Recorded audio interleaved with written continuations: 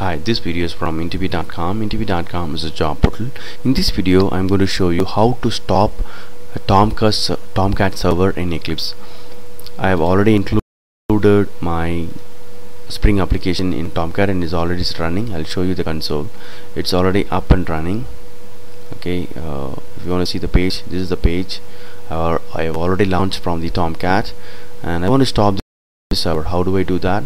Either you can click this red button or you can go to the servers tab and servers console and right click you can select stop.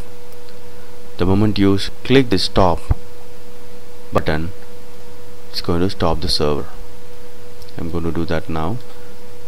So this is how you can stop the Tomcat server in Eclipse. My server